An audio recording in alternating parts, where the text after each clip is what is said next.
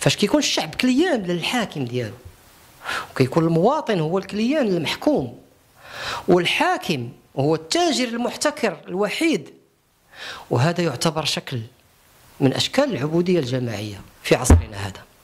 عبودية مقنعة في الظاهر ديالها حرية حرية التنقل حرية السفر حرية التعبير حرية التملك. ولكن في الباطن ديالها عبودية واسترقاق واستعباد.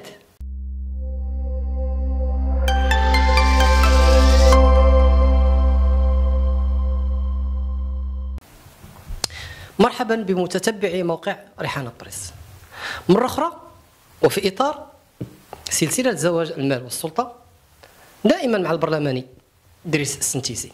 نتكلموا الآن في الحلقة السادسة.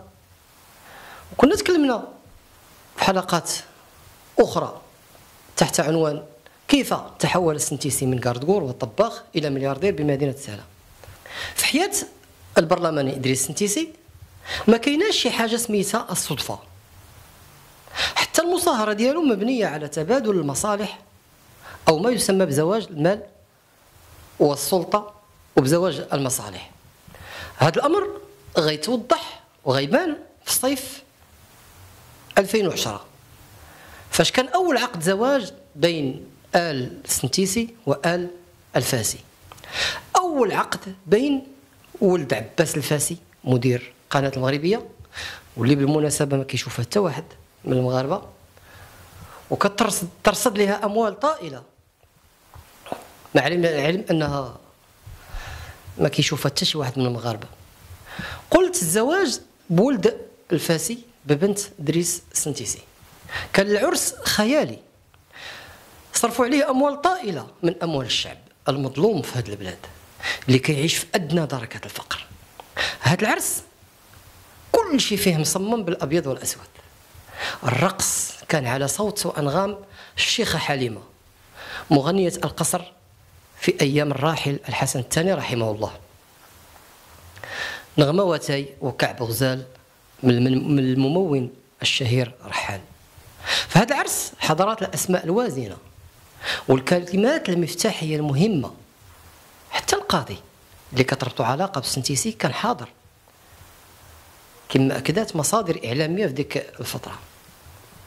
سأل العرس الفاخر مشاو العرسان البيت الزوجية. فوق كروسة أنيقة يجرها حصان إلى بيت الزوجية. في حين مشى الصهران عباس الفاسي ودريس السنتيسي باش يكملوا عقد الزواج بين المال والسلطة وتقاسم المصلحة اللي ليك ليك واللي ليا ليا في هذا الزواج. الثمرة الأولى اللي غيجنيها السنتيسي هي حظوة المصاهرة هي الشرف العائلي اللي كان غائب عنده الاسم ديال العائلة. لمدة كبيرة وهو كيبحث عليها ضمن زواج المال والسلطة. بالمقابل الثمرة الثانية اللي غيجنيها عباس الفاسي والحزب ديالو هي أنه غادي يربح الملك سالا القوي في جنبه خصوصا بعد الحملة اللي دارها السنتيسي على الخصوم ديالو بحال محمد عواد المنعش العقاري والاستقلالي الأول في ساله ثمرات أخرى غيجنيها السنتيسي والفاسي بجوج واللي بدا الزرع ديالها كيكبر شهور قبل موسم الجني والحصاد في الانتخابات التشريعية ل 2012 هذه الفترة بالضبط. خونا في الله السنتيسي بدا كيحول السلاوية لمجموعه من الزبناء للشركات ديالو. وغيرد مدينة سلا سوق تجارية للسلطة ديالو. وأصبح المواطن السلاوي زبون مضطر مكره لشراء كل ما يبيعه له الحاكم ديالو. الإمبراطور السنتيسي حاكم يضع القانون بالبرلمان كينتج السلع والخدمات كيحدد السعر اللي بغى. كيفرض الجودة ديالو اللي بغى ولا احتج شي واحد واستنكر كيدخلوا للحبس. فاش كيكون الشعب كليان للحاكم ديالو وكيكون المواطن هو الكليان المحكوم والحاكم هو التاجر المحتكر الوحيد وهذا يعتبر شكل من أشكال العبودية الجماعية في عصرنا هذا.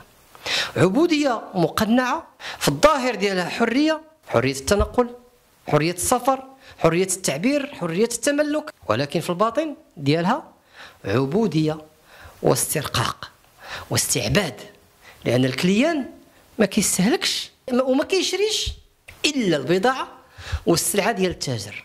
وهذا بالضبط هو اللي وقع مع خونا سنتيسي بمدينة سلا. سنتيسي ما خلى حتى شي حاجة ما تاجرش فيها. تاجر في الفلاحة في الصناعة تاجر في البحر تاجر في البر تاجر في قطاع الخدمات. والاتصالات والطاقة والصناعات الغذائية والمائية. تاجر في الحديد تاجر في الإس... في الإسمنت في المقالع والصيد في أعالي البحار. تاجر في الصحافة والإعلام تاجر في الماء تاجر في البناء تاجر في العقارات في كل شيء. تاجر وما زال يتاجر. يعني إمبراطور بكل ما تحمل الكلمة من معنى. يعني كذلك العبودية الكاملة والاسترقاق التام بل, بل أكثر. من هذا رجع سلاويين متسولين متسولين. ثعايا بسبب ارتفاع الأسعار. بسبب وإن كانت هي عامة. وما كاينش في حق سنتيسي واحد راهما سنتيسيات في البلاد.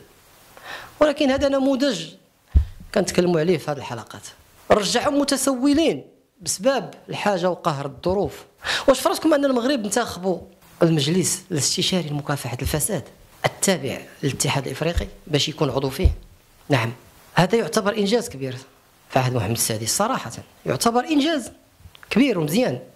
واعتراف بنجاح المغرب في مكافحة الفساد. مزيان. ولكن واش هذا كافي باش نقولوا أن المغرب قطع الواد ونشفوا رجليه؟ لا. لأن المؤسسات لحد الساعة غير جادة في مكافحة الفساد. صحيح أن وزارة الداخلية المغربية تابعت مجموعة من المنتخبين والبرلمانيين. مجموعة منهم في الحبس ومجموعة منهم كيتابعوا في حالة صراحة. لكن أنا كنشوف من وجهة نظري أن هذه المتابعات فيها انتقائية في المحاسبة لحد الساعة. لحد الساعة بعد خمسة ديال الحلقات على السنتيسي وهذه السادسة. وكلها اتهامات منا بشكل صريح بنهب المال العام وجرائم الأموال حتى شي جهة ما اتصلت بنا من أجل التحقق أو التأكد من هذه المعطيات والاتهامات أو الوثائق اللي عندنا. وزاره الداخلية وصلت هذه الحلقات. إحنا على يقين أن شافتها الوزارات ومجموعة من الأجهزة الأمنية. حتى شي جهة ما اتصلت بنا. باش تأكد أو رفع هو دعوى قضائية كما كان يروج في واحد المجموعة ديال المواقع الإلكترونية. كانت اتصالات فقط من البعض. من أجل التحذير من محاولات بلطجية أو تلفيق تهمة التجار بالمخدرات. هذه من الأمور التي تضحك. وكلها محاولات من أجل اخافتي من الاستمرار. في نشر فضائح السنتيسي ومن معه. كان السنتيسي نشر في مجموعة المواقع الإلكترونية كما قلت وللأسف مواقع كنا نعتبرها نعتبرها كبيرة لكن صدقات صغيرة. نشرت البلاغ ديالو اللي قال فيه أنه سيقاضينا وغادي يرفع لنا دعوه قضائيه وكنا كنتظروا في موقع ريحانة بريس هذه اللحظة يعني لحظة رفع الدعوة القضائية من أجل المحاسبة اللي كانت غتكون محاسبة ومحاكمة تاريخية. وبالتالي آه، سقوط إمبراطور فاسد نهب مدينة بأكملها. وكانت غتكون وزارة الداخلية كبيرة في عين المغاربة وغيحتارموا وزير الداخلية عبد الوهاب الفتيس. وكان غيكون الشعب السلاوي بصفة خاصة والشعب المغربي فرحان بوزارة الداخلية لما تطالب بمحاكمة السنتيسي وأمثال السنتيسي. ليس السنتيسي فقط هناك نماذج كثيرة جدا. ما لا, لا, لا زالت لم تطلها أيدي العدالة. مجموعة ديال الفاسدين كبار ما قدرتش لحد الآن وزارة الداخلية يديها توصل لهم. الله أعلم. علاش؟ الله أعلم. باش ما نحكروش على وزارة الداخلية فقط راه كاين الفساد بكل الوزارات. واحد الوزارة غنتكلموا عليها إن شاء الله في حينها. فيها الفضائح بالجملة. لكن أقول ان أن تعثر مسار المحاسبة السبب ديالو هو وجود نخبة سياسية حولات معركة إسقاط الفساد إلى معركة الغاية ديالها أخذ حقها من هذا الفساد. كاينة واحد النخبة سياسية جعلات من الفساد القوت ديالها ومائدة انتخابية وهي اللي خلات الوزارات مترددة في تطبيق معادلة ربط المسؤولية بالمحاسبة. المجلس الأعلى للحسابات في العطلة في هذا الوقت هذا والقضاة ديال المجلس الأعلى للحسابات داروا واحد الحملة خصوصا في هذا الصيف على العديد من المكاتب ديال رؤساء مجالس ترابية. وطالبوا بالحصول على وثائق كتعلق بابرام صفقة النفايات والتشجير وتعبيد الطرق. وكيف تم تمت التحويلات المالية؟ وتزامنت هذه الجولة ديال التفتيش الجديدة اللي لقاتها زينب العدوي رئيسة المجلس مع التحقيقات اللي اللي دارتها المفتشيه العامة للإدارة الترابية. وبينات تورط رؤساء ديال الجماعات جدد في ارتكاب خروقات مالية كبيرة وإدارية. وفي مجال التسيير منهم اللي توقف ومنهم اللي كينتظر قرار المحكمة الإدارية سواء بالإبقاء عليه أو بالعزل ديالو بحكم نهائي. من المنتظر ان ان أن تحيل العدوي فور انتهائها انتهاء القضاة ديال المجلس على مستوى العديد من الأقاليم والعمالات أنها تحيل واحد مجموعة ديال الملفات على مستوى الأقاليم والعمالات في تناغم مع مصالح ديال وزارة الداخلية. ملفات العديد من المنتخبين الكبار على محاكم جرائم الأموال. نتمنى أن يكون السنتيسي من ضمن هاد المحاكمين أو المحاكمون. هيكون هذا الشيء في شتنبر المقبل إن شاء الله بإذن الله تعالى. سمعنا مؤخرا آه، واحد مجموعة ديال التقارير تفيد أن أن المفتشية العامة ووزارة الداخلية حالت واحد مجموعة ديال المنتخبين بتهمة تسليم رخص بدون سند قانوني. سمتيسي مثلا الوثائق اللي عندنا آه، كاين واحد مجموعة الرخص تم تسليمها بالجملة عشرات وثيقات 30 نوفمبر 2004 من مدير الوكالة الحضرية للرباط وسلا إلى رئيس مجلس الجماعة الحضرية. يعني طلب تسليم السكن المتعلق بالملف عدد 3 424 مقاطعة بالمريصة. هذا ترخيص بدون سند قانوني. وثيقة من عام العمل السلا إلى السيد وزير الداخلية المدير العام للجماعات المحلية. الموضوع حول تسليم رخص للتعبير للتعمير غير قانونية. هذه في سنة في غشت 2003 من عام العمل السلا إلى السيد رئيس الجماعة الحضريه سلا دريس السنتيسي. طلب توضيحات بشأن تسليم رخص السكن غير قانونية. هذه رسالة في 24 أغسطس 2003 من عام العمل السلا إلى إدريس سنتيسي السيد رئيس الجماعة الحضرية سلا تحت إشراف السلم الإداري. بالموضوع بشأن تسليم رخص السكنة لمشاريع مرخصة بطرق غير قانونية. من عام العمالة السلا إلى السيد وزير الداخلية مفتشي العام لوزارة الداخلية. ورقة الإرسال. نسخة من الرسالة الموجهة من طرف مصالح هذه العمالة إلى السيد رئيس مجلس الجماعة الحضري لمدينة سلا.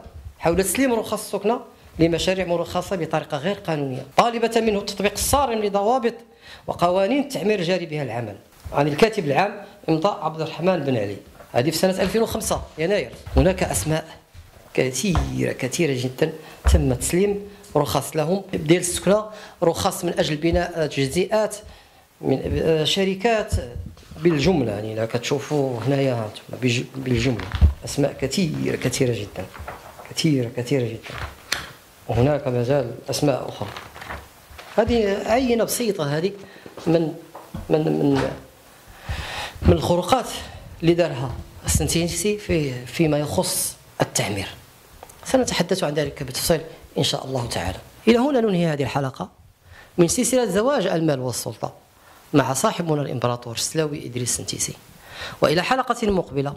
والسلام عليكم ورحمة الله تعالى وبركاته.